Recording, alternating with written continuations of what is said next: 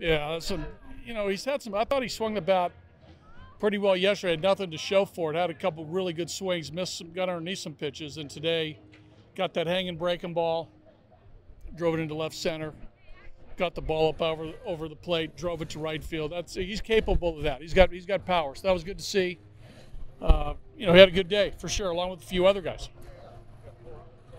Yeah, I thought, you know, Trev, you know, rode that pitch out, homer.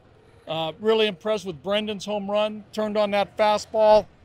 Uh, you know, that was real. I thought Mac had a good swing too, hit a good fastball, drove it to center. So, you know, I thought all in all, it was a good uh, offensive day uh, for a lot of guys. Yeah, I mean, Mac's still, you know, he's still getting into the swing of things, but overall, they've been Mac-like, right? Hasn't expanded the zone. There's a couple walks in there. Uh, you know, he's taking balls that are borderline, which is what Mac does. It's part of his game. Is you know the potential for on base via the walk and and having control of the strike zone. So it's been good for Mac. I thought Chi Chi again, crisp again, like we talked about his last start up to 95, but uh, you know I like the you know I like the crispness of the fastball as opposed to his first outing. So uh, you know, good for Chi Chi.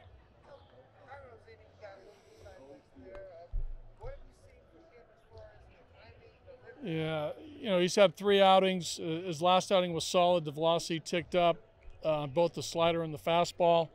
Uh, today we saw that sporadically. Hung the breaking ball to Walker for the home run. I thought today he was just up, uh, up out over the plate. They they scored some balls up, uh, but a good strikeout to Marte to lead off the inning. Two good breaking balls there. Uh, so overall, again, he's still working his way, you know, into the next three weeks where you know he'll be ready by April one. You know he's still he's still working on a couple things, uh, but overall, there's uh, you know where he is right now is where he needs to be as far as his strength, uh, arm strength. Uh, you know he's still working his way into his stuff, and they're they're fine tuning a little bit of his delivery.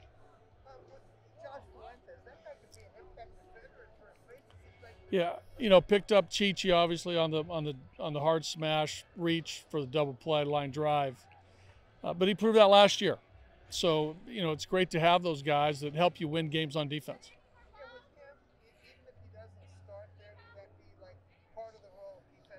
He is part of it. I mean, uh, the thing that we've said all along about Josh is the versatility. First, third, potentially left. Uh, you know, start games, right? Get a lot of at bats as a starter.